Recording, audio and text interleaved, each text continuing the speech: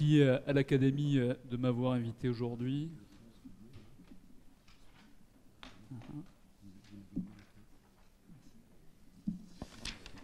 Merci à l'Académie de m'avoir invité aujourd'hui. Merci aux, organisateurs. Alors c'est difficile de parler avec après euh, euh, les maîtres de cette école française de neurochirurgie fonctionnelle. Malgré tout, euh, ils m'ont un petit peu facilité la tâche en introduisant et en vous expliquant certains concepts que je vais beaucoup utiliser, ceux de neuromodulation, de stimulation cérébrale profonde et de réseaux neuronaux. Alors, même si euh, les premières interventions neurochirurgicales euh, à l'ère néolithique ont probablement été réalisées pour euh, corriger des désordres mentaux ou à, visée mystique, c'est Egasmonitz qui, dans les années 30, a vraiment donné l'essor de ce qu'on a appelé la psychochirurgie en décrivant la première leucotomie frontale. Puis Walter Freeman, qui était psychiatre, a standardisé la technique opératoire et l'a développée jusqu'à l'excès avec des excès qui ont été dénoncés euh, dans plusieurs euh, euh, ouvrages littéraires ou dans, des films. La réaction défavorable de l'opinion publique qui en a suivi et l'avènement des neuroleptiques et d'autres psychotropes a mis en sommeil cette activité chirurgicale jusqu'au début des années 2000 où elle a connu une sorte de renaissance grâce notamment au développement et à l'essor de la stimulation cérébrale profonde et je vous parlerai aujourd'hui essentiellement de cette technique de stimulation cérébrale profonde. Alors aujourd'hui, ce qu'on préfère appeler euh, neurochirurgie euh, des comportements, neuromodulation euh, comportementale, s'inspire de cette psychochirurgie, mais a su en tirer les leçons et les, leçons de ses erreurs. Autrefois, cette chirurgie était basée sur l'empirisme, aujourd'hui elle se base sur les connaissances approfondies issues des neurosciences. Elle se base euh, sur euh, les études en neuroimagerie, qu'elles soient anatomiques ou fonctionnelles, sur les rares euh, modèles animaux pertinents disponibles.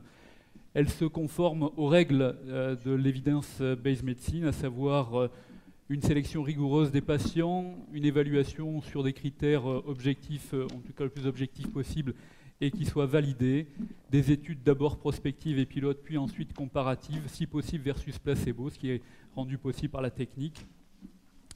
Et donc depuis 2003, euh, cette euh, technique de stimulation cérébrale profonde est, proposée pour traiter notamment les TOC, la maladie de Gilles de la Tourette et euh, la dépression.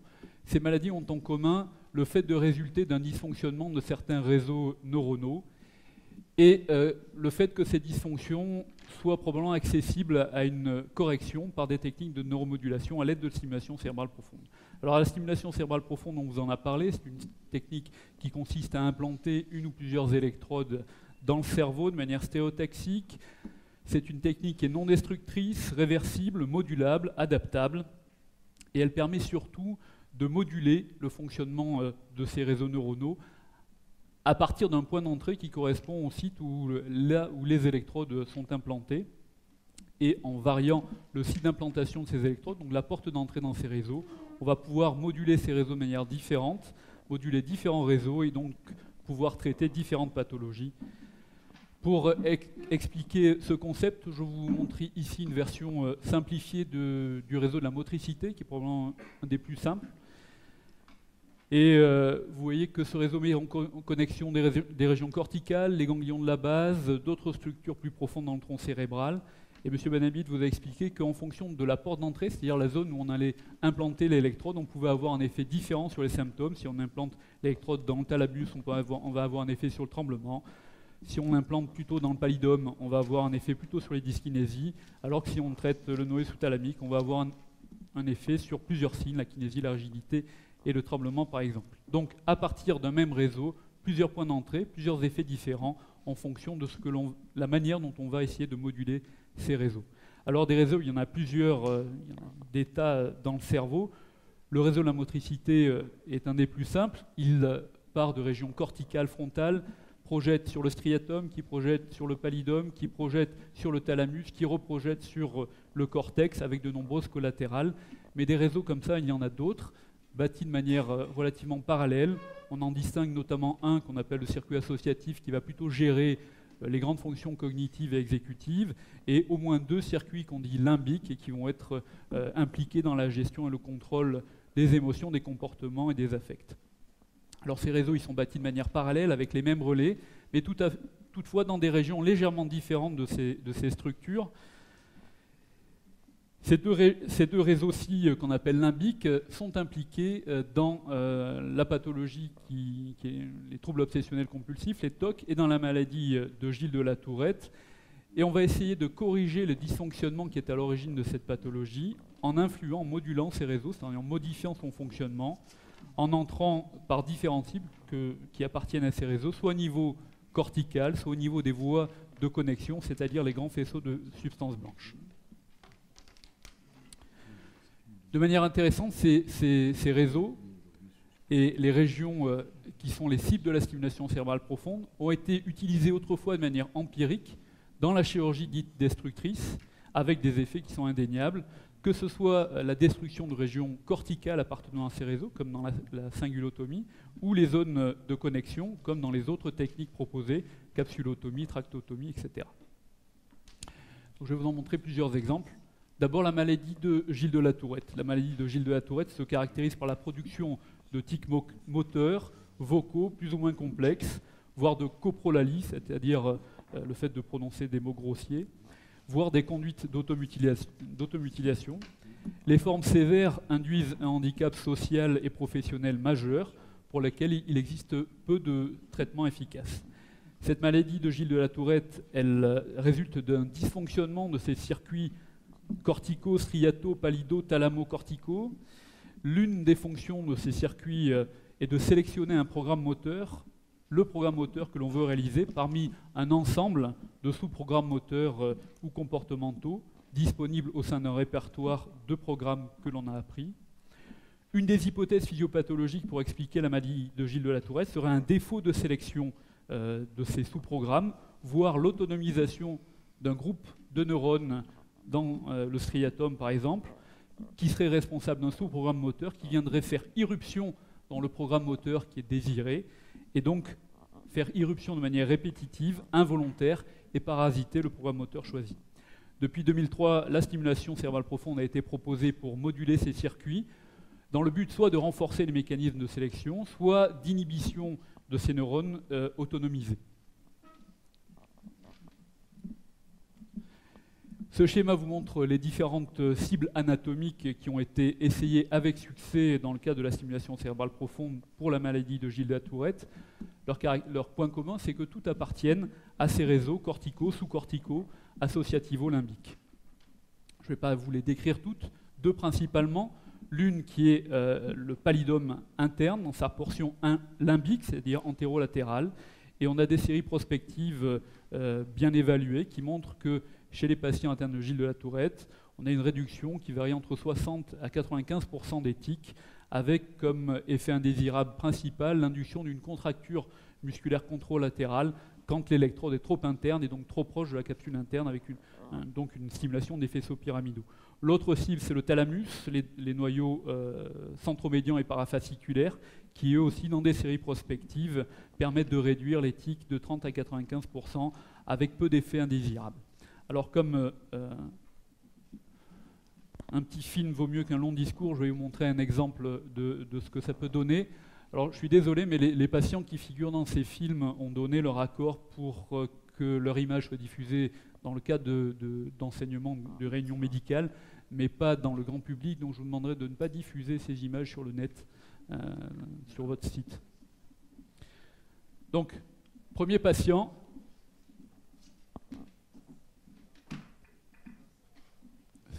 Vous entendez là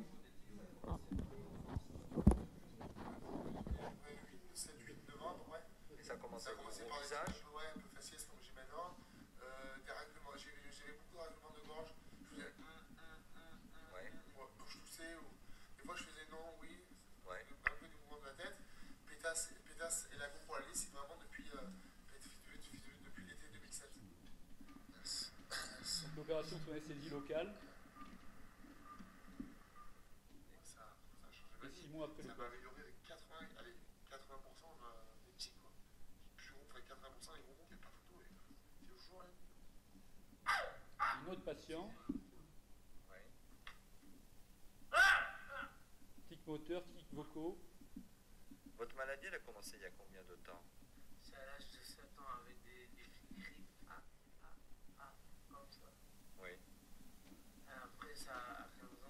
ça. Là. Les obsèques, vous savez, les obsèques. Avancez vers moi, lentement. Donc des tics qui touchent aussi les membres inférieurs et qui compromettent la marche. Avec des chutes. J'arrive pas à découvrir. Comment vous sentez-vous? Bien, bien, bien. On nous sent vraiment cool. Et donc mois- après 5 mois de stimulation, plus de, plus de tics, une amélioration de 80% sur les tics. Ça, c'est des images que je dois à l'équipe de la salpêtrière, avec des tics moteurs, traités d'abord par stimulation du thalamus, avec une amélioration qui est visible. hein. Une double stimulation pallidum plus thalamus. Plus de tics. Donc voilà.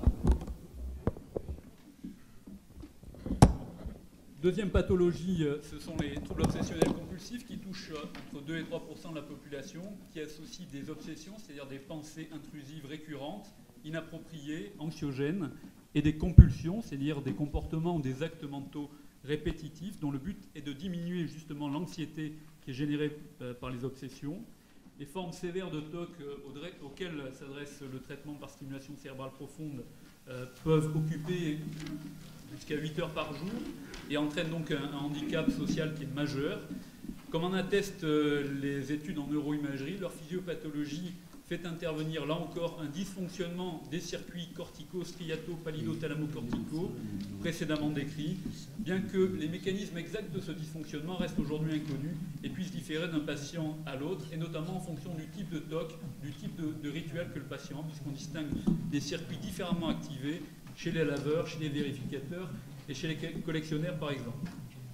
Alors parmi les différentes cibles utilisées en, stimulation cérébrale profonde dans les TOC et qui appartiennent tous à ces réseaux, trois sont situés globalement au, même endroit. On distingue ici euh, euh, le euh, striatum ventral en vert, le noyau accumbens et le bras antérieur de la capsule interne ici entre les deux. Dans des séries prospectives bien étudiées qui euh, représentent à peu près 90 cas dans la littérature, on a une réduction euh, globale euh, du des TOC avec 60% de patients qui sont considérés comme répondeurs et on considère qu'un patient est répondeur quand euh, euh, on observe une diminution de 35% au moins de la sévérité des TOC sur les échelles, euh, c'est la Y-box dans le cas particulier. Peu d'effets indésirables dans cette cible, souvent transitoires, hypomanie, augmentation de la libido, oubli, et une étude contrôlée on versus off en double aveugle qui vient d'être récemment publiée sur 16 patients qui montre que le score de sévérité des TOC diminue lors de la phase ouverte où le stimulateur est allumé, puis quand on éteint le stimulateur à l'insu du patient, les TOC s'aggravent, et puis s'améliorent de nouveau quand on remet en route le stimulateur.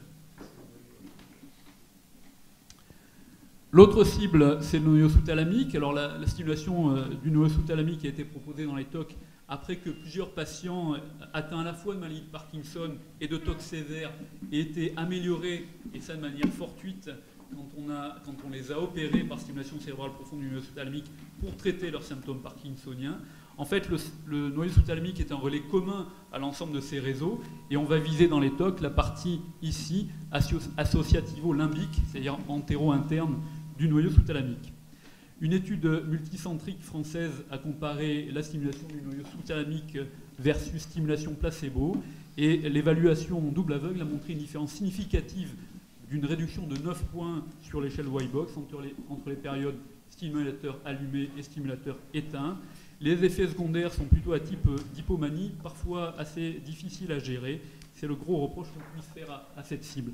Alors actuellement, il y a une étude multicentrique euh, française qui est coordonnée par Emmanuel Cuny qui est dans la salle, est en cours pour comparer à la fois l'efficacité et la tolérance de ces deux cibles, noyau accumbens et noyau sous-thalamique.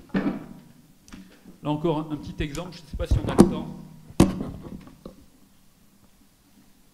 Ça démarre pas. Bon, ça démarre pas, donc... Ça a sauté, tant pis, je vais passer à la suivante. La suivante, c'est la, dépression.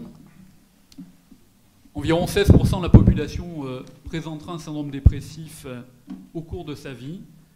La majorité des patients vont répondre au traitement médicamenteux qui est aujourd'hui euh, bien codifié en, quatre, étapes. Mais finalement, un tiers de ces patients va résister à toutes les, les étapes du traitement et développer une dépression chronique et pharmacorésistante. Ainsi, on estime qu'en France, environ 3000 patients sont en impasse thérapeutique et résistent à tous les traitements, y compris la sismothérapie, dont on connaît par ailleurs bien les, conséquences sur la cognition. Outre la souffrance mentale qu'entraîne la dépression chronique, ces patients sont exposés à un risque suicidaire important qui est évalué environ à 1% et représente un coût en termes de santé publique qui est très important également. Ce que, les études en, neuroimagerie euh, fonctionnelle suggèrent, c'est que la dépression résulterait d'un dysfonctionnement, là encore, d'un réseau euh, neuronal qui implique euh, le cortex frontal, qu'il soit orbitaire ou singulaire, les ganglions de la base et des structures limbiques. Ces dysfonctionnements probablement diffèrent d'un patient à l'autre parce que les mécanismes qui sont à l'origine de la dépression sont variables d'un patient à l'autre. Ça peut être des facteurs génétiques, environnementaux, l'histoire personnelle du patient, des traumatismes, etc. De même que les mécanismes de compensation pour essayer de gérer la dysfonction de, ces réseaux. Donc les études en imagerie fonctionnelle, quand on compare des patients sains et des patients dépressifs, sont assez euh, euh, discordantes. Par contre, ce que montrent euh, ces études en imagerie, ce sont les structures qui sont impliquées dans ces réseaux et leur rôle respectif. On distingue ainsi un groupe de structures plutôt corticales, néocorticales, frontales et pariétales, et notamment le cortex dorsolatéral préfrontal. Ces structures sont impliquées plutôt dans les symptômes à type d'apathie, le ralentissement idéatoire, les troubles attentionnels, les troubles dits exécutifs. Et un autre groupe qui sont euh, euh, des structures limbiques, notamment la partie subgénuée du cingulum, qu'on appelle CG25 parce qu'il correspond à l'air 25 de Brodmann, mais également l'insula, l'hippocampe, l'hypothalamus.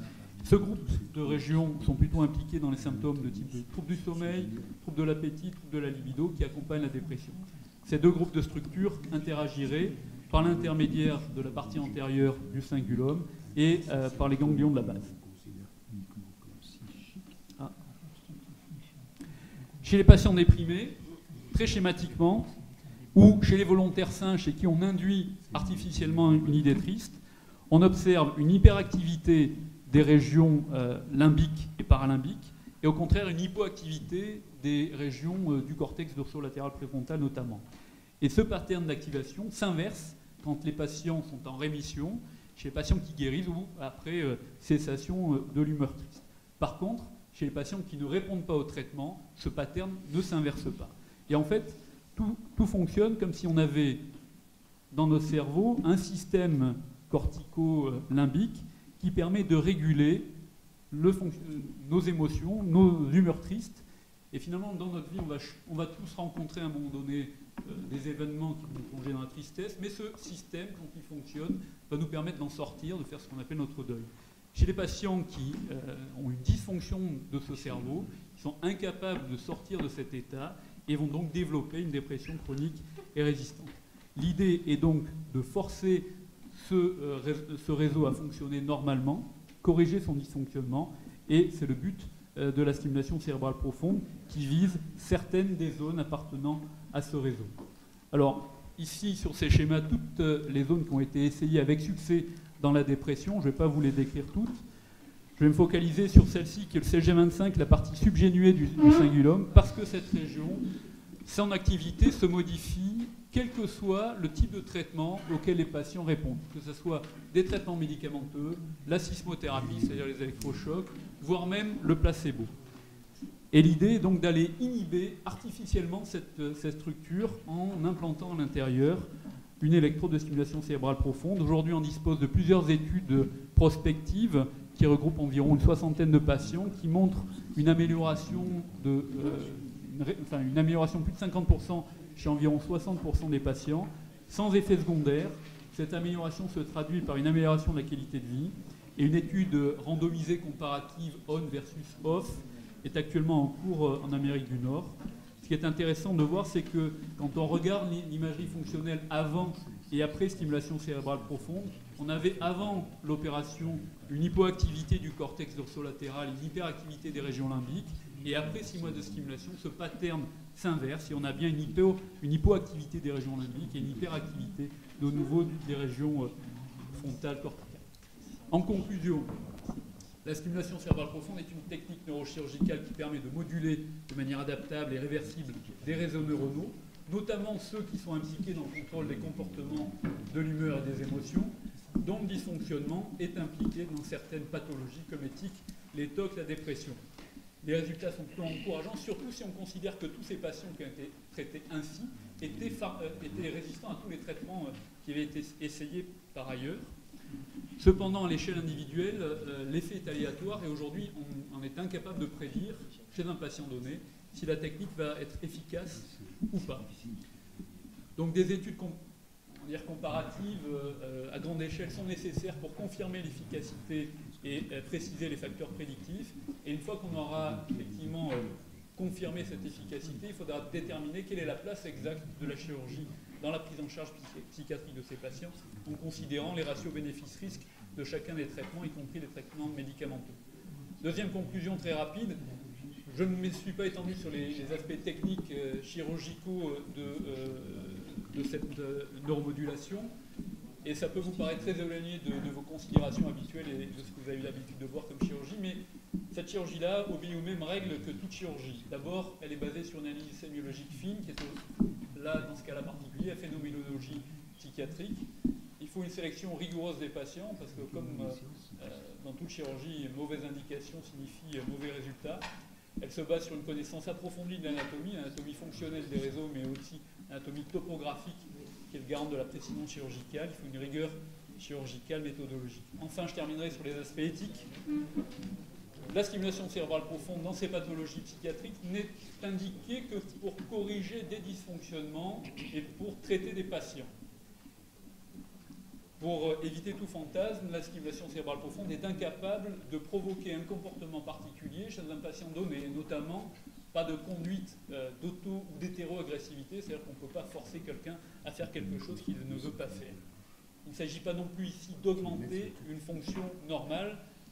Ça a été, posé comme question tout à l'heure, on pourra en discuter ensuite. Il faut que le patient ou le bénéfice du patient, l'intérêt du patient reste euh, notre préoccupation principale. il faut que le patient participe à la décision chirurgicale, puisse peser le pour et le contre, les avantages et les inconvénients, et euh, puisse donner son consentement éclairé. Enfin, à mon sens, il me semble nécessaire d'avoir une discussion éthique au préalable, surtout dans le cadre des indications émergentes de ce type de chirurgie, qui sont l'anorexie mentale, l'addiction et l'hyperagressivité pathologique. Je vous remercie de votre attention désolé pour... Un grand merci pour euh, cette euh, brillante présentation et demande à Philippe Coube de Montpellier de jouer le rôle du discutant.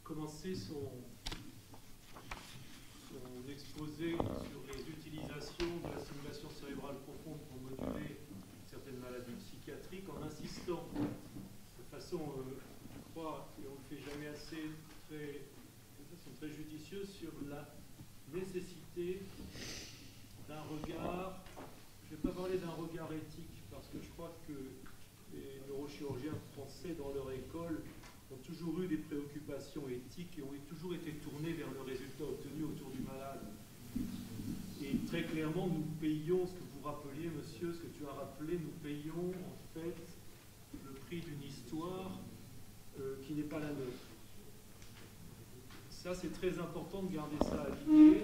Et la corollaire de ce premier commentaire que je veux faire, c'est que euh, tu as, et vous avez très judicieusement montré qu'on est parti d'une analyse physiologique de symptômes moteurs, donc de pathologie, tu viens de le dire, et ça c'est très important, qui était sous-tendu par une hypothèse physiopathologique, le tremblement étant la, pas la caricature, mais le bel exemple, on est intervenu sur une cible et on a guéri le symptôme. L'hypothèse était donc que cette cible était un nœud physiologique crucial dans l'émergence du symptôme. Tu as très, je vais dire intelligemment avec un grand I, euh, intituler cet exposé Traitement des troubles du comportement. Parce qu'on est encore là dans l'expression motrice de la synthèse expérientielle qu'on peut donner comme psychologique, mais nous sommes encore dans notre champ d'action progressif, avançant lentement, où à partir des analyses et des résultats obtenus dans des symptômes très clairement définis, on est passé à la comparaison entre le mécanisme des schémas d'Alexander que tu as rappelé et de Long, d'un comportement moteur simple, de l'expression d'un symptôme, dysfonctionnement, mais qui reste un comportement. On a migré un peu vers l'avant, notamment dans le système limbique transpalidal, et on applique maintenant l'hypothèse inhibitrice de la stimulation qu'on connaît, qu'on possède dans certaines cibles qui gouvernent le système moteur, à des comportements dont on fait l'hypothèse très très rapidement à l'opposé de ce qu'on faisait dans le système moteur, qui sont beaucoup plus élaborés, donc qui mettent en jeu plusieurs boucles, très certainement. Et c'est en fait euh, la question, mais tu connais mon soutien à cette théorie, que les échecs de cette euh, stimulation cérébrale qui reste extrêmement difficile à mettre en œuvre dans les maladies euh, comportementales viennent très certainement du fait qu'on est resté marqué par l'hypothèse d'une cible, une électrode, un effet, et qu'on est réticent à avancer vers la stimulation multicible, multiréseau pour des raisons économiques, mais aussi pour des raisons euh, chirurgicales qui sont presque là aussi d'ordre éthique. Alors, ma question, elle est euh, comment faire et à quand va-t-on forcer nos collègues psychiatres à avancer dans la définition sémiologique et les corrélations physiopathologiques que nous avions faites avec les neurologues dans le mouvement? Et euh, est-ce que tu ne penses pas que nous avançons trop lentement en restant attachés à la validation dans des maladies dont nous savons d'ores et déjà qu'elles sont beaucoup trop complexes pour être appréhendées au travers de la physiopathologie d'un seul réseau, vers une stimulation multicible, multiréseau La corollaire, elle est très importante. Parce que cette technique, on n'en a pas parlé, mais écoute, très très cher à la société et n'est accessible qu'à certains pays. On est donc à un carrefour où on a l'impression que les idées sont très largement en avance sur la technologie et ce que l'industrie met à notre disposition. Quelle est ta position sur cette comparaison donc de la littérature actuelle qui nous dit voilà, on a ce résultat dans des maladies compliquées multiréseaux euh, et la, nécessité pour moi d'avancer vers des stimulations très, très rapidement, vers des études qui restent très compliqués à mettre en œuvre, mais qui vont être nécessaires si on veut continuer à avancer dans le traitement chirurgical des Alors, la, première réponse, euh, est-ce que tu trouves pas qu'on va trop lentement euh, Oui, ça c'est sûr qu'on va trop lentement, mais euh, on, paye, on paye le prix justement de la psychochirurgie et on nous demande d'être extrêmement précautionneux dans l'évaluation à la fois des effets thérapeutiques et des effets indésirables. On, se heurte aussi à, des mentalités chez nos amis psychiatres euh, qui euh, sont le reflet de notions qu'ils ont appris et qui viennent des excès de la, psychochirurgie. Et c'est difficile de changer les mentalités, même si les jeunes psychiatres sont de plus, en plus sensibles à la, psychiatrie biologique, sont bien conscients qu'il existe des, réseaux neuronaux, sont sensibilisés aux, théories euh, des dysfonctionnements des réseaux dans certaines pathologies. Mais il est très, très, très difficile, en tout cas dans mon expérience personnelle, mais je pense qu'elle est partagée, de recruter des patients dans les essais qui sont en cours. Ça, c'est la première chose. Compte tenu du caractère euh, extrêmement euh, euh, sensible de cette thématique, on ne peut aujourd'hui, à mon sens, avancer que dans des protocoles de recherche clinique qui prennent toujours beaucoup de temps. Je pense qu'il faut évaluer chaque cible de manière unitaire avant de, et comprendre l'effet qu'elles peuvent avoir sur l'ensemble du réseau pour ensuite pouvoir imaginer les associer. Mais j'aimerais effectivement que les choses aillent plus vite, ça c'est certain. Je ne sais pas si j'ai répondu à votre question.